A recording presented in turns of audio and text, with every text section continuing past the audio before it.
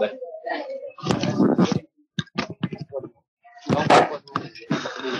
à rồi ok xin đâu rồi cảm giác cái này.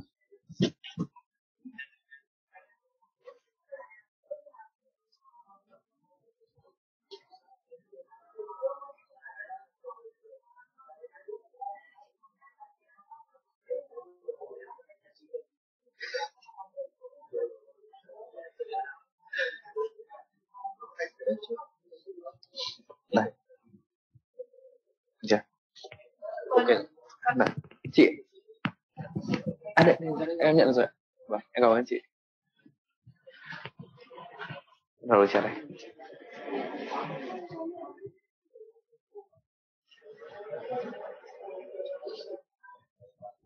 À rồi chào các bạn. Chúng ta bắt đầu luôn nhỉ? Để cho chúng ta hôm nay là ngày cuối tuần rồi. Quyết định nhanh để còn được về sớm nhé thì à, nói chung là về số lượng à, kiến thức của các bạn trong một buổi chiều thế tôi thấy là tương đối dài.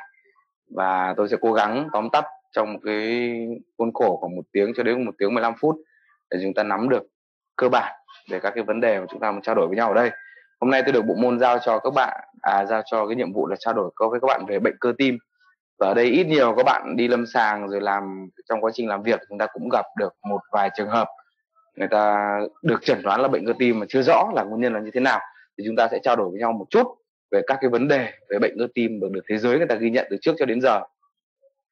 Thì từ những năm 1980 người ta đã có khái niệm này rồi. Tuy nhiên ở thời điểm đó thì người ta kể cả tổ chức y tế thế giới người ta đưa ra một cái khái niệm đó là một cái bệnh lý về cơ tim. Không rõ nguyên nhân là cái gì cả và giữa lâm sàng và chẩn đoán nó còn rất nhiều các cái uh, không thể giải thích được. Và cho đến năm 95 thì người ta được ghi nhận lại đó là bệnh lý của cơ tim có liên quan trực tiếp đến tình trạng suy tim do nhiều nguyên nhân gây nên. Và chúng ta cũng biết rồi tức là thông thường người ta sẽ đến với chúng ta vì các cái triệu chứng của suy tim chứ không người ta không biết là bệnh cơ tim của người ta là cái gì cả mà người ta đến với chúng ta. Do đó phần lớn đến với chúng ta khi bệnh nhân đã có biểu hiện của suy tim rồi thì lúc đó suy tim phải suy tim trái vân vân. Thì người ta đến với chúng ta và được làm chẩn đoán thì ra cái bệnh lý là bệnh lý về cơ tim. Thì cái danh từ trên uh, mạng chúng ta có thể tra ra đó là cardiomyopathy. Về tổ chức y tế thế giới người ta phân loại theo giải phẫu và sinh lý của thất trái thì người ta chia ra làm năm nhóm. Bệnh lý bệnh lý cơ tim như sau. Thứ nhất là có giãn thất trái phì đại thất trái. Được gồm có cái biểu hiện trên siêu âm chúng ta có thể thấy là tâm thất trái giãn rộng và chức năng tâm thu thất trái thì giảm. Trên, đây là một cái ờ, nhóm mà chúng ta sẽ gặp rất nhiều trên lâm sàng. Thứ hai là thất trái phình to, dày thành và suy chức năng tâm trương. Chúng ta có tưởng tượng ra đây là bệnh lý gì không ạ? Có lẽ là thôi chút nữa chúng ta sẽ đưa ra cái này. Phần lớn liên quan đến công việc của tăng huyết áp thứ hai thứ ba là bệnh cơ tim hạn chế, thì chủ yếu là suy chức năng tâm trương.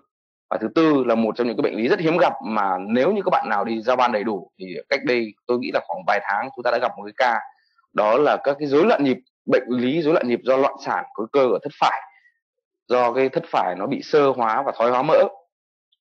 Và cái nhóm thứ năm là cái nhóm bệnh lý cơ tim, thất trái nó không có bóp gì cả, nó làm giảm gần như tuyệt đối cái tính đàn hồi của cơ tim.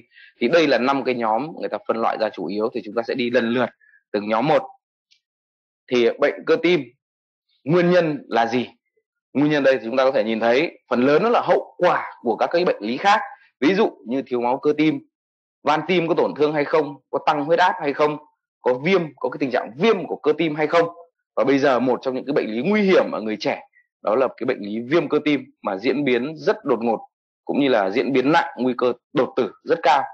Và ở cái C1 cấp cứu và đơn vị hồi sức tích cực chúng ta sẽ gặp rất nhiều. Và thông thường ở các bệnh phòng thường chúng ta rất hiếm gặp.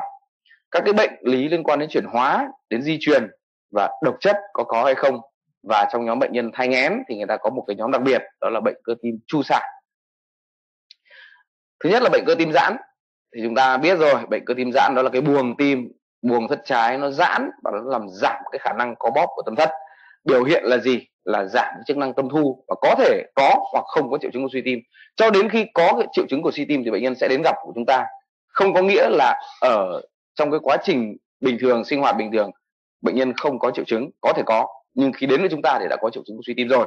Thứ hai là đặc trưng nếu mà chúng ta có làm được cái à, các cái mẫu sinh thiết thì có hình ảnh của phá hủy tế bào cơ tim và cái nguyên nhân tại sao lại dẫn đến đó thì chúng ta cũng chưa có một cái lý do, lý giải cụ thể và phần lớn, những trường hợp này là nguyên phát cho có đến 5 cho đến 8 phần 100 nghìn cái tỷ lệ này là nguyên phát và cái tỷ lệ đột biến ba nhiễm sắc thể X ở nam và ở người Mỹ gốc Phi thì gặp nhiều hơn so với cả các nhóm bệnh nhân khác.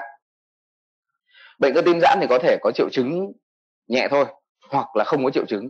Do đó khi đến với chúng ta thì chúng ta đều gần như lắc đầu ngao ngán vì thấy cái vùng cơ trái nó giãn tướng lên.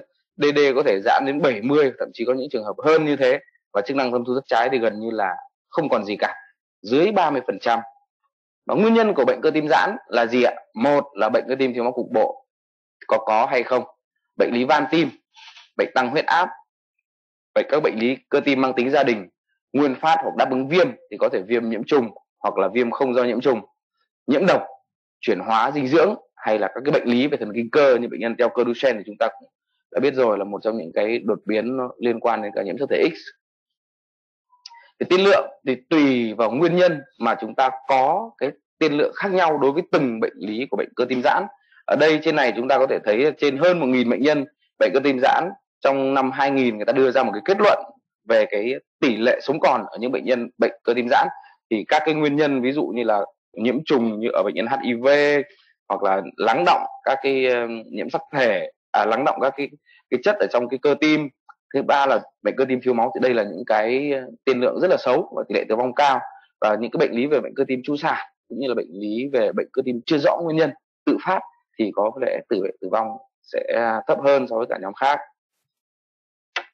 Nguyên nhân nhiễm trùng thì cái này bây giờ chúng ta sẽ gặp rất nhiều và đặc biệt là những cái đơn vị cấp cứu tim mạch chúng ta gặp khá là nhiều. Bệnh nhân sẽ đến với chúng ta về các cái triệu chứng của rối loạn nhịp rất rầm rộ. Thông thường chúng ta có thể nhiễm viêm cơ tim cấp do ecovirus hoặc là coxsackie virus. Đây là hai nhóm. Và theo tôi được biết thì bây giờ chúng ta đã có thể phân lập được khoảng 20 nhóm virus có thể gây ra viêm cơ tim cấp rồi. Và bệnh nhiễm trùng ở người trẻ về cơ chế thì chúng ta hoàn toàn chưa có một cái giải thích cụ thể về cơ chế của những cái trường hợp này nhưng người ta có thể lý giải bằng một số các cái giả thuyết ví dụ như là chết đi hoặc là sơ hóa của tế bào cơ tim hoặc là cái tổn thương lắng động các cái phức hợp miễn dịch ở trong cơ tim hoặc là ở các cái à, khoảng kẽ cạnh cơ tim. Tuy nhiên cái triệu chứng này khi chúng ta sử dụng các thuốc ức chế miễn dịch thì không hề có đáp ứng. Đây là một trong những cái điểm tại sao chúng ta chẩn đoán được là viêm cơ tim như vậy nhưng chúng ta không dám sử dụng các cái chất ức chế miễn dịch. Thứ hai là do bệnh cơ tim giãn do nhiễm độc ví dụ trong trường hợp do rượu bệnh cơ tim do rượu chắc là chúng ta cũng ít nhiều được nghe đến rồi. Lý do là gì? Là sử dụng kéo dài nhiều năm và làm cho cái tế bào cơ tim nó, nó chết đi và nó sơ hóa. Và nó làm cho các cái phản ứng ở trong tế bào gần như là nó bị tê liệt ở ti thể cũng như là cái dáng hóa của axit béo cũng bị tê liệt. Và cái này có thể cải thiện được nếu như bệnh nhân chịu bỏ rượu. Cho nên tất cả những ai đã từng đi tim mạch rồi thì chúng ta đều có một cái lời khuyên đối với bệnh nhân là gì ạ? Đầu tiên là xin mời các bác ngừng uống rượu lại để chúng tôi còn điều trị tiếp. Về liên quan đến di truyền thì sao? Các cái bệnh lý cơ tim có liên quan đến gia đình thì người ta thấy tuy là có cái chữ là idiopathic có nghĩa là bệnh gì ạ bệnh tự phát. Thế tuy nhiên có 30% các cái trường hợp đó là có yếu tố gia đình. Khi mà người ta làm các cái hệ gen lên hôm nay chúng tôi có ngồi trao đổi với cả à, tiến sĩ Lan Anh ở bên bộ môn di truyền thì chúng ta hoàn toàn có thể phân lập được cái hệ gen này và chúng ta biết được trong vài thế hệ trong gia phả có ai gặp các cái vấn đề về bệnh cơ tim hay không chúng ta có thể xác định được cái bệnh lý này có mang tính di truyền hay không. Và có các hình thái cũng như là cái kiểu hình liên quan đến di truyền. Với bệnh sinh thì chúng ta có thể có thể bất thường trong cái quá trình tạo ra năng lượng ATP đấy. Thứ hai là tạo ra các cái chất có tính đàn hồi người ta gì? Đó là hệ liên võng nội mô và các cái gen đặc biệt mã hóa cho gì? Myosin cho actin vân vân. Đó là cái uh, những cái quyết định bệnh lý của chúng ta. Tiếp theo đó là sang phần bệnh cơ tim chu sản thì tiêu chuẩn chuẩn đoán bệnh cơ tim chu sản chắc là ở đây mọi người cũng đã từng nghe rồi nhỉ các bạn đã đọc qua bài chưa? Im lặng. Im lặng quá. Không biết là các bạn ở trên mạng đã đọc qua bài chưa? Bạn ở đây chưa có ai đọc qua bài cả. Cái tiêu chuẩn chuẩn đoán là gì? Đó là trước một tháng hoặc là sau 5 tháng quá trình mang thai của chúng ta. Và biểu hiện trên siêu tim là gì? Là suy chức năng thất trái. Chức năng tim ở những bệnh nhân này có thể dưới 45% đây là một trong những tiêu chuẩn trên siêu âm mà tôi rất tiếc là cái hình này thực ra là một cái hình động tôi lấy được về. Toàn bộ cái hình động không hiểu sao là không thể sử dụng được. Về dịch tễ học, theo một cái nghiên cứu năm 2000 người ta thấy là chiếm một cái tỷ lệ như thế này là theo tôi là tương đối nhiều phụ nữ trong độ tuổi sinh sản nó chiếm một trên 4.000 phụ nữ. Và cơ chế bệnh sinh đó là gì? Đó là cái đáp ứng của các cái tế bào viêm, các cái cytokine viêm, ví dụ như là TNF alpha, interleukin 6 vân vân. Tiết lượng như thế nào? Về tỷ lệ tử vong ở những cái bệnh nhân này, chúng ta thấy là một cái nghiên cứu tổng hợp số lượng bệnh nhân từ năm 91 cho đến năm 97 trên hai, khoảng 250 cái bệnh nhân được chẩn đoán thì người ta thấy cái tỷ lệ tử vong là khoảng 0,88 trên 100.000 trường hợp. Và trong cái quá trình chu sản nó chiếm khoảng 70% bệnh nhân sẽ tử vong trong giai đoạn này. Và những cái bệnh nhân mà nào có nguy cơ tử vong cao đó là gì? Đặc biệt hay gặp ở những cái bệnh nhân mang thai khi ở tuổi cao. Chúng ta định nghĩa đấy là cái lứa tuổi trên 35 phụ nữ trên 35 tuổi được coi là mang thai ở tuổi cao.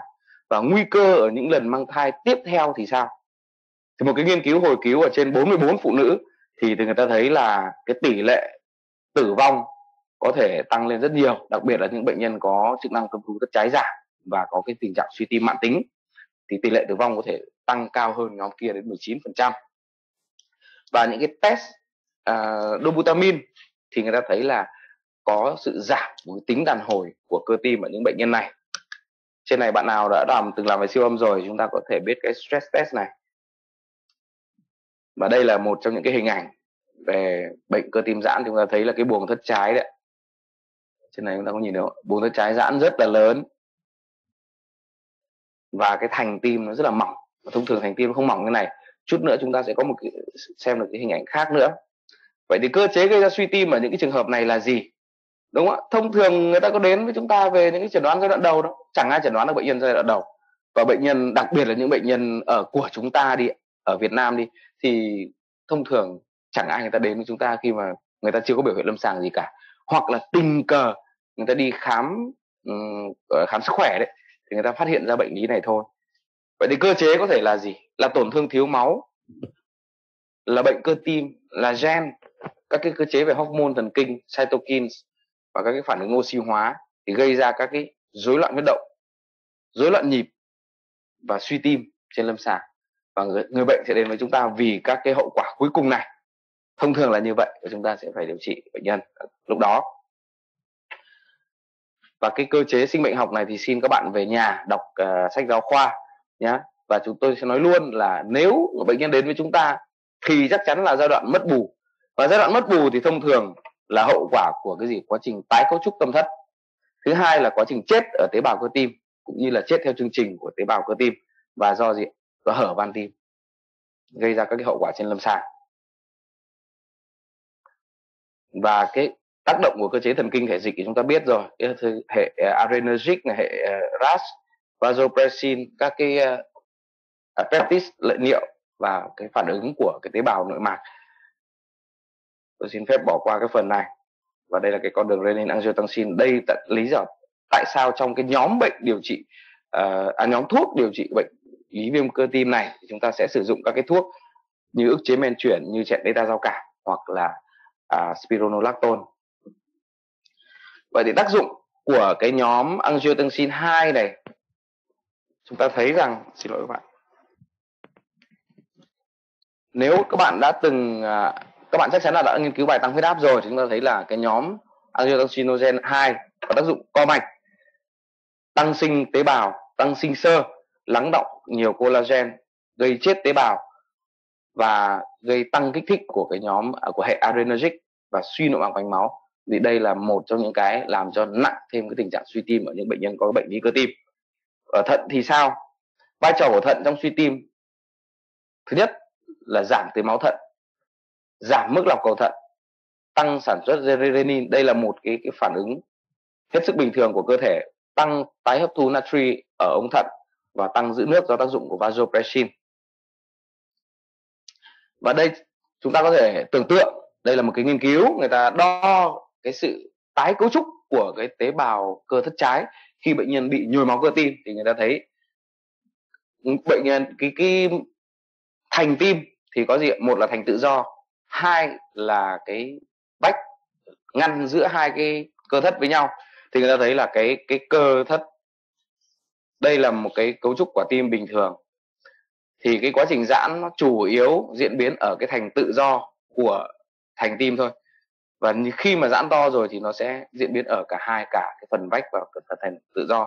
Do đó trên hình ảnh siêu âm tim thì chúng ta có thể quan sát được cái hình ảnh này dễ dàng hơn.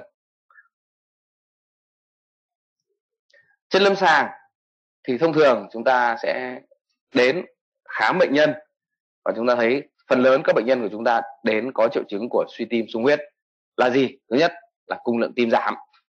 Thì triệu chứng của nó đi kèm theo là gì? Có thể mệt mỏi, đau đầu, rồi huyết áp thấp. Thứ hai là có sung huyết ở phổi. Thì chúng ta có thể nghe được khó thở khi nằm. Bệnh nhân khó thở liên tục. Chúng ta có thể nghe được các cái ran ở phổi. Và khi có sung huyết hệ thống, có nghĩa là suy tim toàn bộ rồi, thì chúng ta có gì? Có có phù, có dịch cổ trướng và có tăng cân khi mà chúng ta cân bệnh nhân, theo dõi cân bệnh nhân hàng ngày.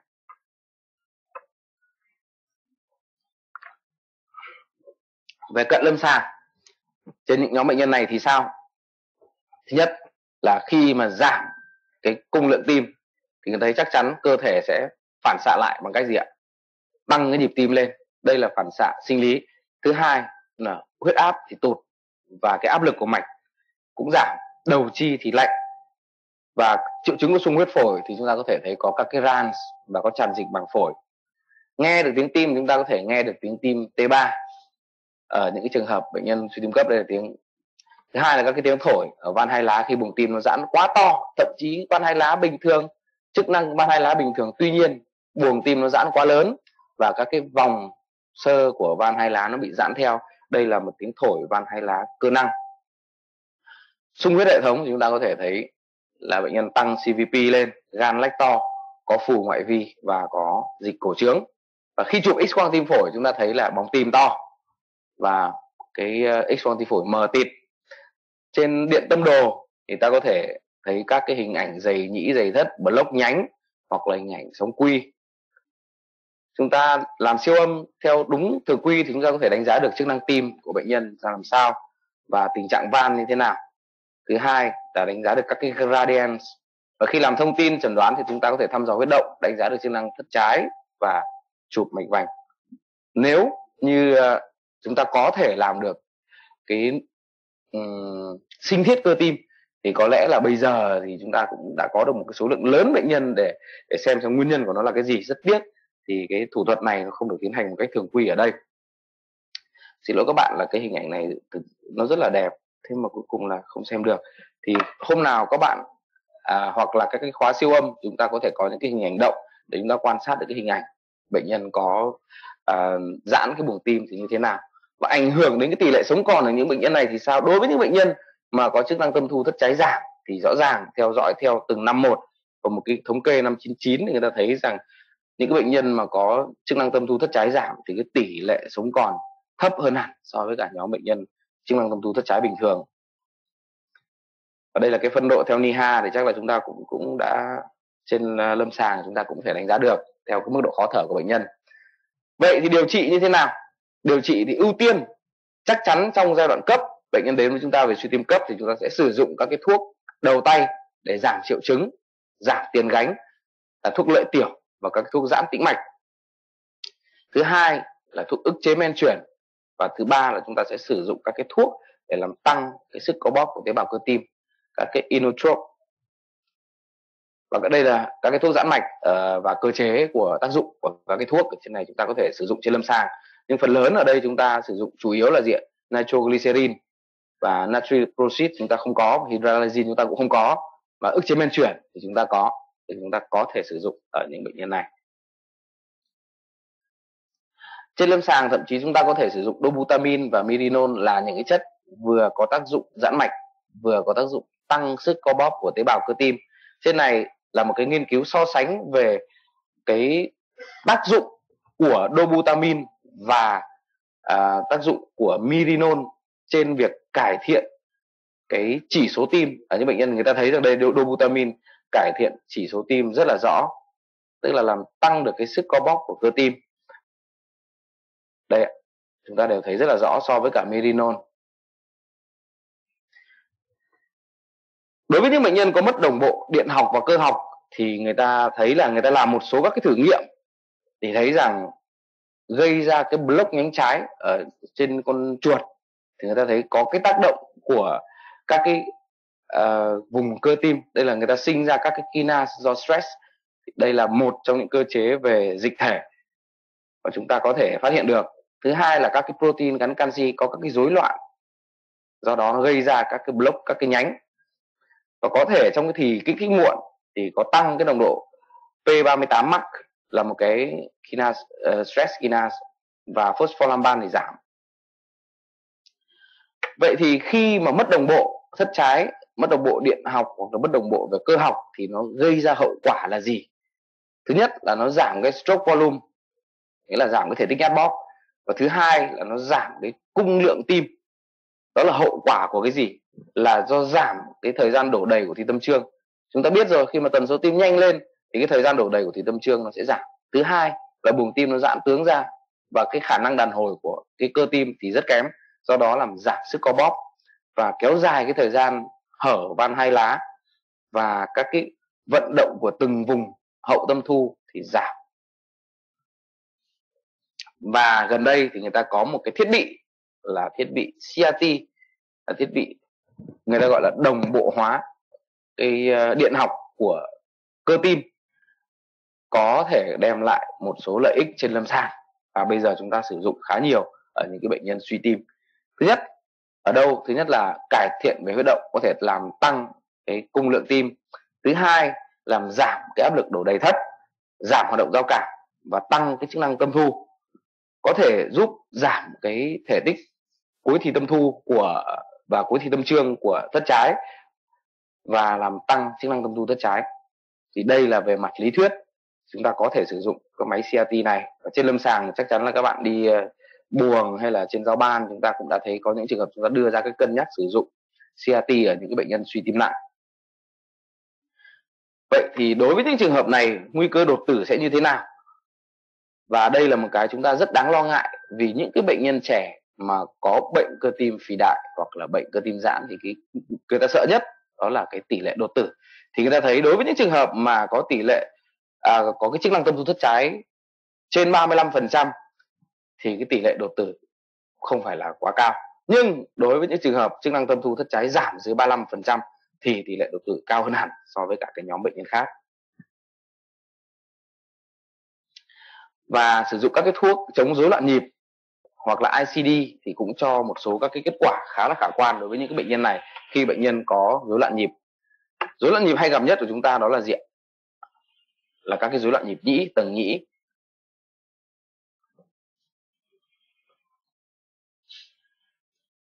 Tôi chuyển sang phần tiếp theo, đó là phần bệnh cơ tim phì đại do tăng huyết áp. Đây là một hình ảnh hoàn toàn trái ngược với hình ảnh vừa nãy chúng ta thấy, đúng không ạ? Thứ nhất là vừa nãy chúng ta thấy cái buồng thất trái nó giãn tướng và thành thất trái nó rất mỏng. Tuy nhiên trong trường hợp này chúng ta thấy rằng đây buồng thất trái rất dày dày một cách bất thường.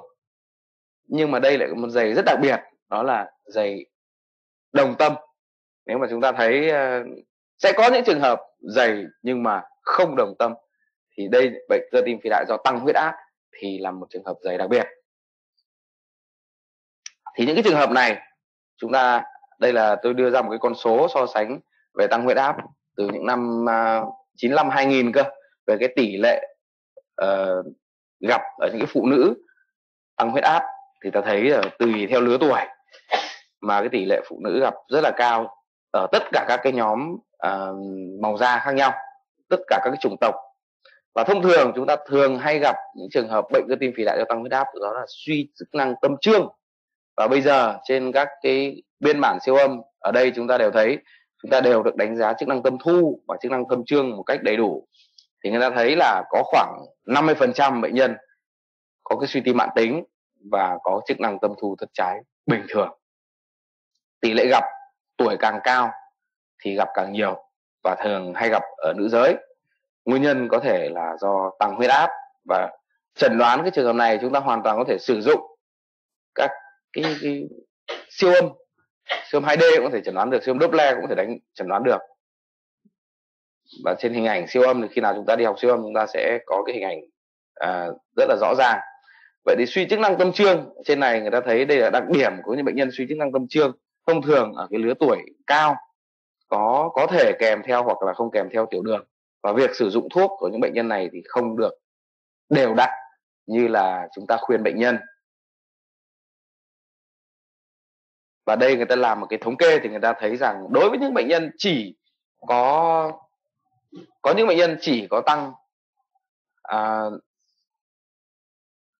rối loạn chức năng tâm trương có những bệnh nhân chỉ rối loạn chức năng tâm thu và có những bệnh nhân rối loạn cả chức năng tâm thu và chức năng tâm trương. Đây là những cái câu hỏi mà tôi sẽ đưa cho các bạn. Sau mỗi phần sẽ có một cái câu hỏi nhỏ và nó sẽ đưa vào cái phần mà chúng ta test sau này tôi xin chuyển sang phần tiếp theo đó là bệnh cơ tim phì đại.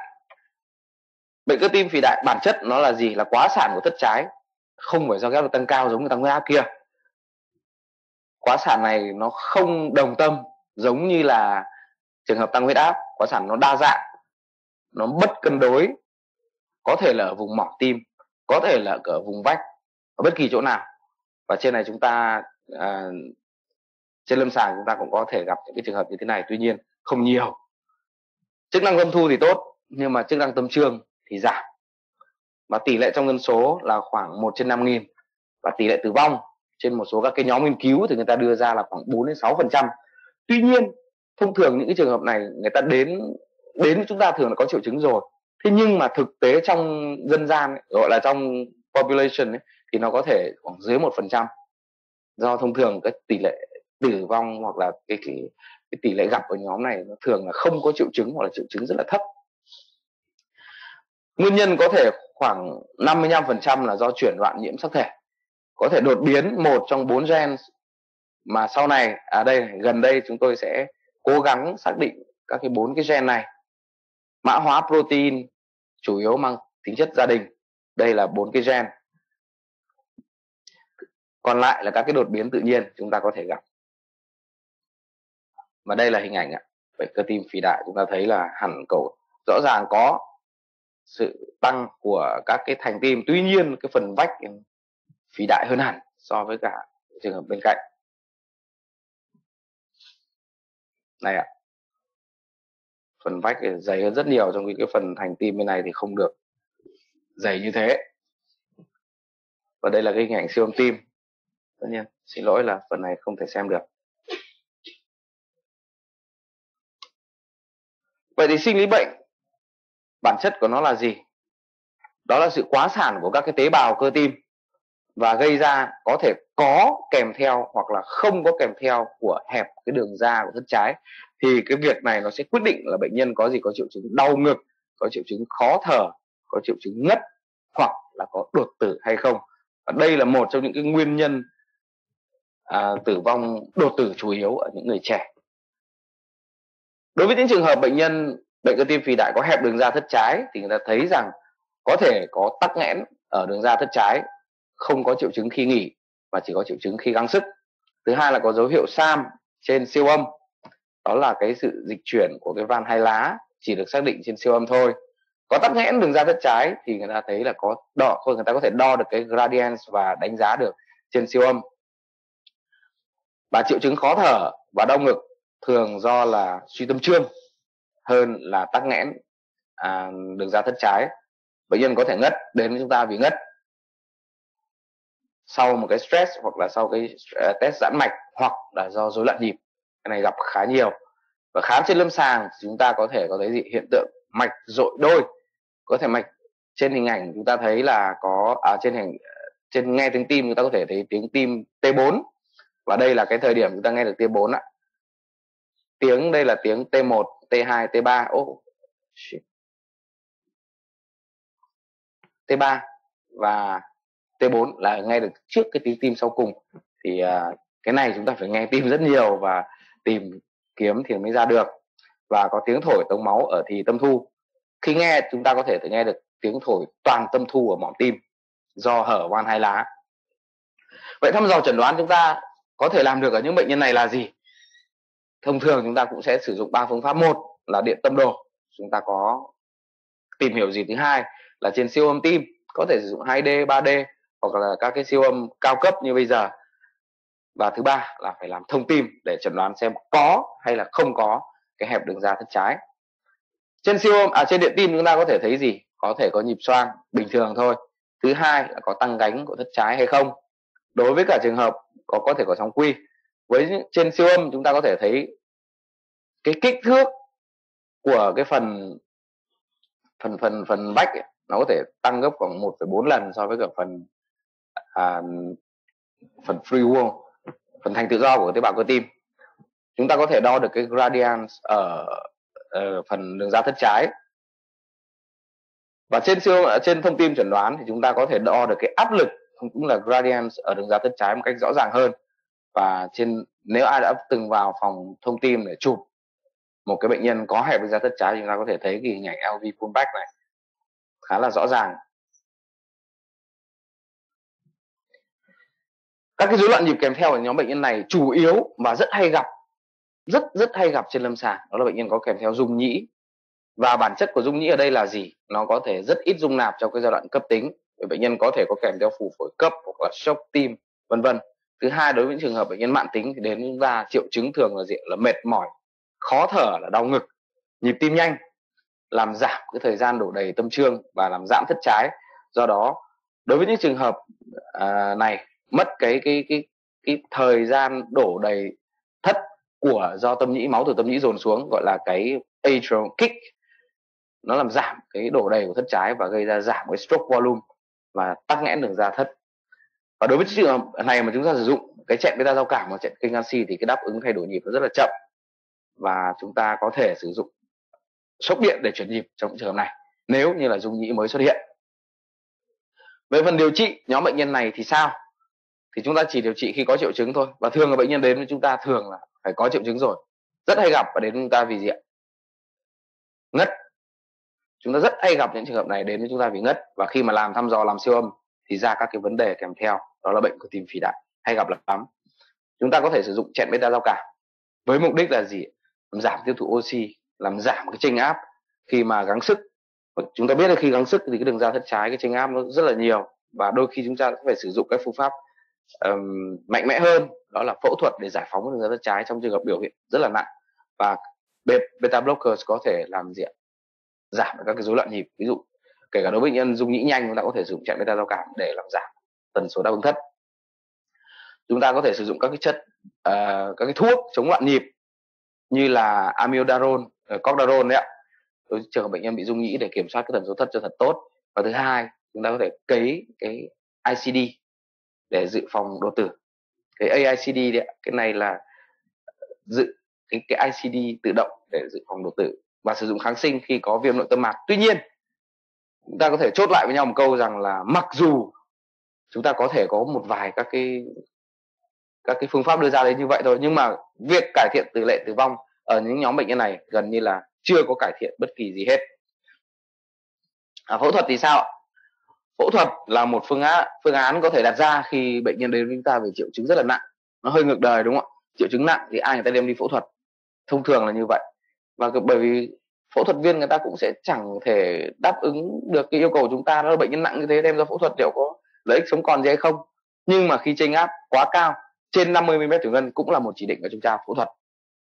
Và cũng phải thống nhất với nhau một câu rằng phẫu thuật không thể ngăn ngừa được cái đột tử ở những nhóm bệnh nhân này.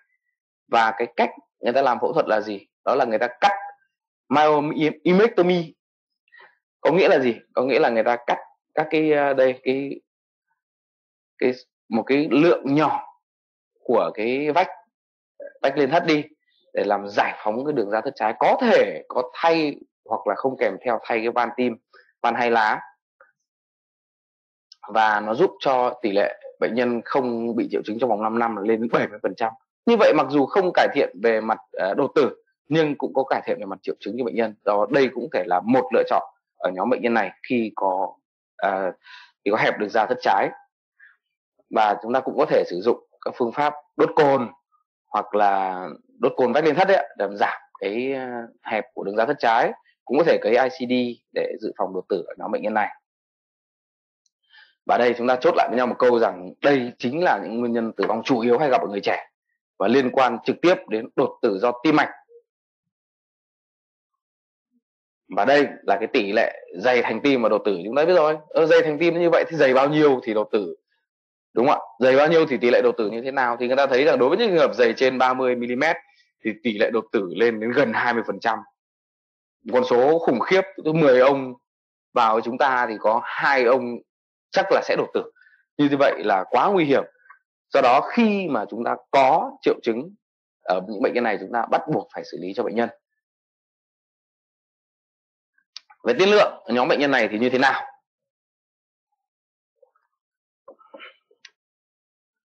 Tỷ lệ đột tử có thể từ 2 đến 4 phần trăm ở người lớn và từ 4 đến 6 phần trăm ở trẻ em và uh, trẻ vị thành niên. AICD có thể cải thiện được cái tỷ lệ đột tử tránh được những cái cơn nhanh thất dai dẳng và những cái bệnh nhân đột biến có tiền sử gia đình cũng như là có cái nguy cơ đột biến cao.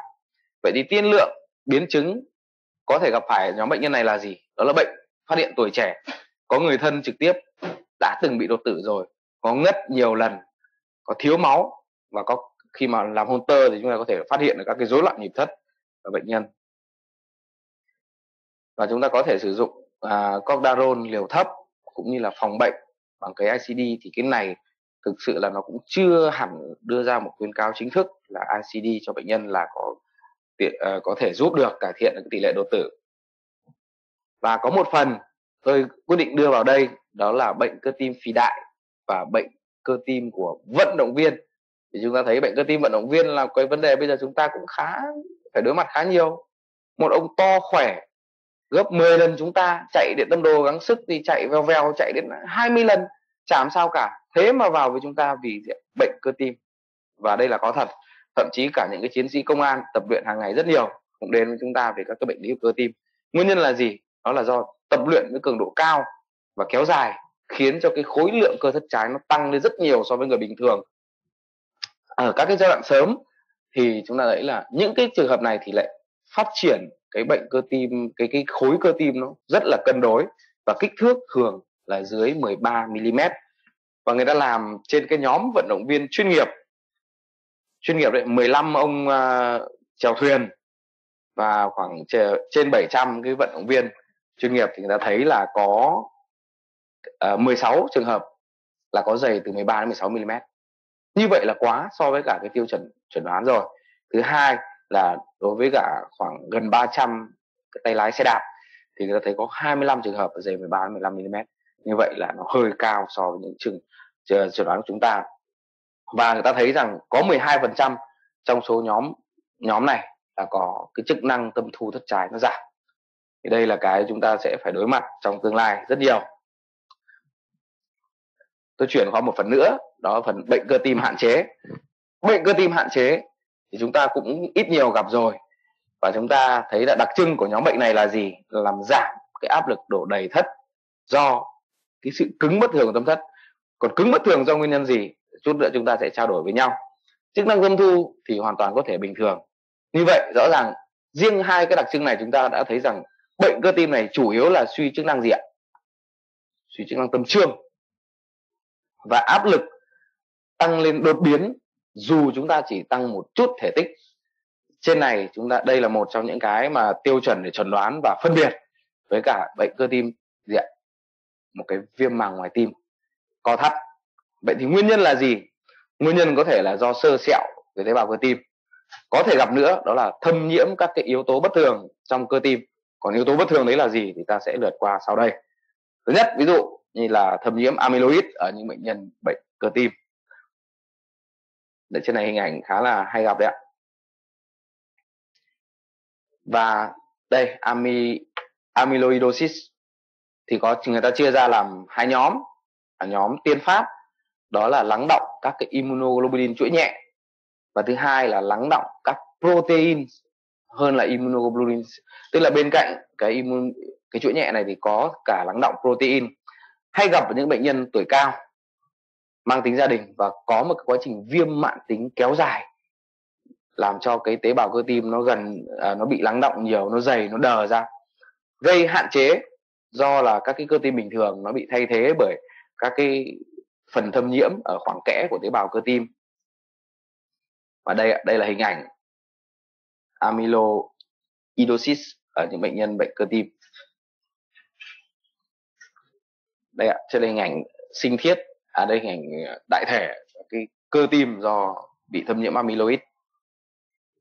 Chúng ta thấy nó không được mịn màng giống như là cái quả tim bình thường. Ở đây chắc là ít nhiều mọi người cũng đã ăn tim xào rồi, đúng không ạ?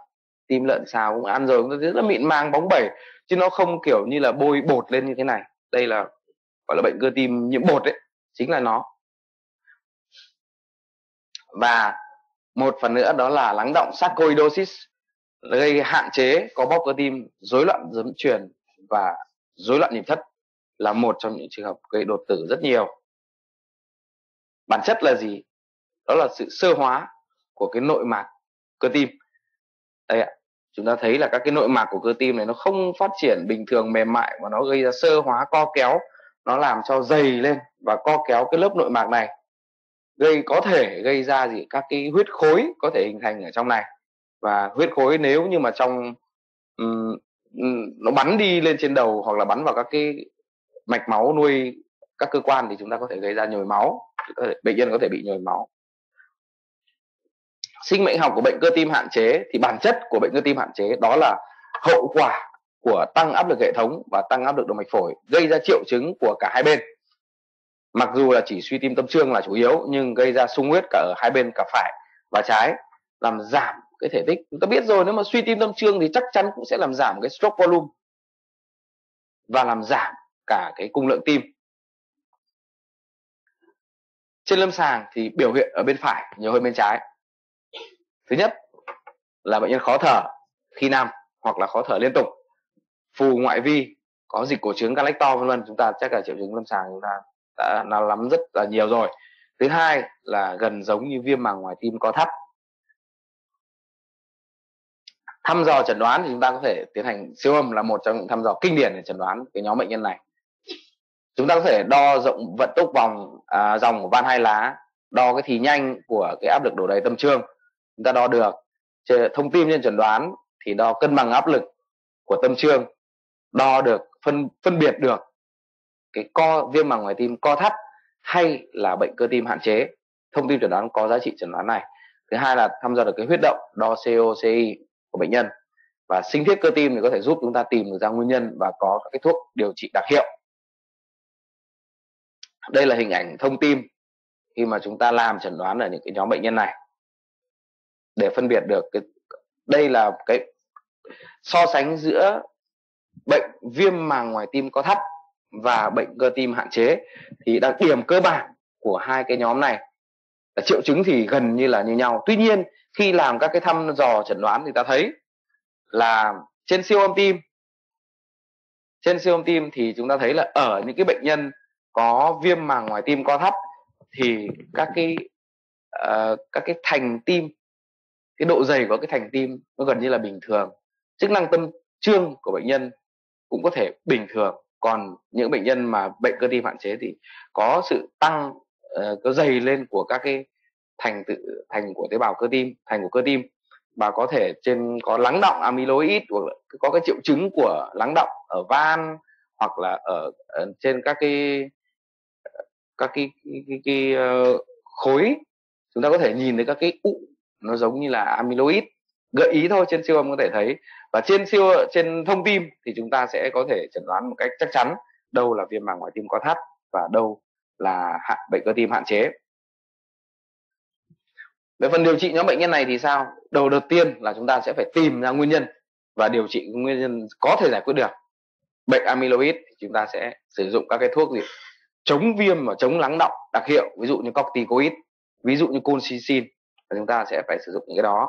Thứ hai là cái quá trình sơ hóa nội mạc của tế bào cơ tim thì cái này do nó tự miễn, chúng ta phải sử dụng các cái gì? Thuốc ức chế miễn dịch. Nếu mà do sarcoidosis thì chúng ta sẽ sử dụng steroid và các cái thuốc để điều trị triệu chứng đi kèm của bệnh nhân, có thể sử dụng các thuốc lợi tiểu để giảm triệu chứng sung huyết, chúng ta biết rồi. Bệnh nhân đến với chúng ta suy tim cấp, nếu muốn giảm điều, triệu chứng đầu tiên, chúng ta ưu tiên nó sử dụng thuốc lợi tiểu. Thứ hai là chúng ta phải lưu ý là dioxin thì không được sử dụng trong trường hợp bệnh nhân bệnh cơ tim nhiễm amyloid.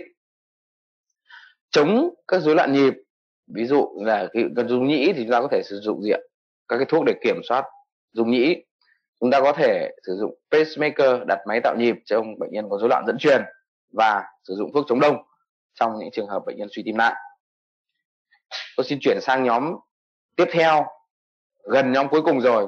Đó là các cái rối loạn nhịp do loạn sản khối cơ thất phải. Thì bản chất của nó là gì? Nó là cái cơ thất phải nó không còn cái tổ chức cơ tim nữa, hoặc là nó bị thay thế bởi các tổ chức sơ và mỡ gây ra rối loạn vận động cũng như là chức năng của từng vùng thất phải. Và hậu quả chủ yếu của nó là gì? Gây ra các cái rối loạn nhịp thất. Và nếu không phát hiện được hoặc không nằm viện thì các cái rối loạn nhịp thất này có thể gây tử vong ở những cái người trẻ. Nhóm cuối cùng, đó là nhóm không có bóp thất trái. Thì đây là một nhóm rất đặc biệt. Và bản thân tôi cho đến bây giờ tôi cũng chưa gặp một ca nào như này cả. Chỉ thấy trên y văn thôi. Và tiêu chuẩn chẩn đoán là gì? Trên siêu âm chúng ta có thể thấy các cái bè cơ nó nổi và co rút sâu ở vùng mỏng. Thứ hai là màng ngoài tim thì mỏng nhưng mà cái lớp nội tâm màng thì rất dày trên uh, sinh thiết cũng như mà trên siêu âm chúng ta cũng có thể quan sát được. Biểu hiện ở kiểu hình thì thực ra đấy đến bây giờ tôi cũng chưa gặp lần nào nên cũng chưa rõ cái kiểu hình của bệnh nhân như thế nào nhưng mà biểu hiện kiểu hình cũng khá là đa dạng. Về mặt điều trị và tiên lượng thì chúng ta cần nếu như bệnh nhân đến với chúng ta mà có triệu chứng như vậy thì chắc chắn chúng ta phải làm screen một loạt gia đình bệnh nhân xem là anh chị em trong cùng phả hệ đấy hoặc là trên một đời hoặc là dưới một đời có vấn đề gì về bệnh cơ tim hay không đó là phải làm một cái screening. Thứ hai đối với những trường hợp bệnh nhân à, tiên lượng ở nhóm bệnh nhân này là tăng cái nguy cơ bị suy tim mạng tính hình thành huyết khối. Vì chúng ta biết rồi vùng cơ tim nó chỉ giảm hoạt động thôi cũng đã có nguy cơ hình thành huyết khối rồi còn đây là thất trái hoàn toàn không hoạt động. Thì hình thành huyết khối rất nhanh và có thể gây ra các cái hậu quả.